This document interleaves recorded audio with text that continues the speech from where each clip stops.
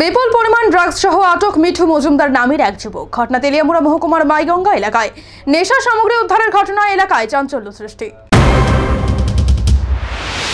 পুলিশের নেশা বিরোধী অভিযান অব্যাহত রয়েছে। অভিযান অব্যাহত থাকলেও নেশামুক্ত ত্রিপুরা গঠন সম্ভব হচ্ছে না। রাজ্য সরকার নেশামুক্ত ত্রিপুরা গঠন করার জন্য বদ্ধপরিকর। এরই অঙ্গ হিসেবে বুধবার তেলিয়ামুড়া মহকুমা পুলিশ গোপন সংবাদের ভিত্তিতে আটক করে নেশা কারবারি মিঠু মজুমদারকে। বিভিন্ন মহলের অভিযোগ দীর্ঘদিন ধরে নেশা কারবার চালিয়ে যাচ্ছিল মিঠু মজুমদার।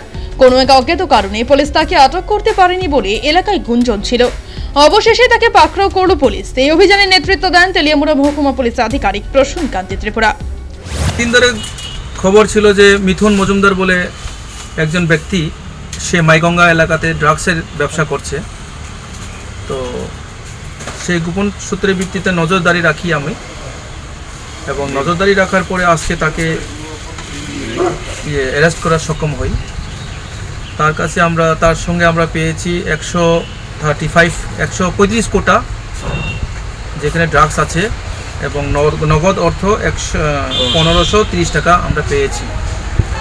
এবং এখন আমরা নির্দিষ্ট একটা এনডিপিএস অ্যাক্টে দ্বারা আমরা কেস রেজিস্টার করব এবং তার বিরুদ্ধে তদন্ত করব।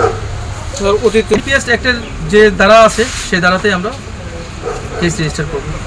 আগামী দিনেও কি আপনাদের এরকম অভিযান হ্যাঁ, জারি? তো অভিযান চলবে।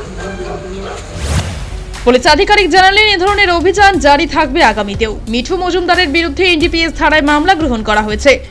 ইতিমধ্যে ধৃত মিঠু মজুমদার মাদক সাম্রাজ্যের অন্যতম বেতাজ বাদশাহ হয়ে উঠেছে বলেই এলাকায় খবর ছিল।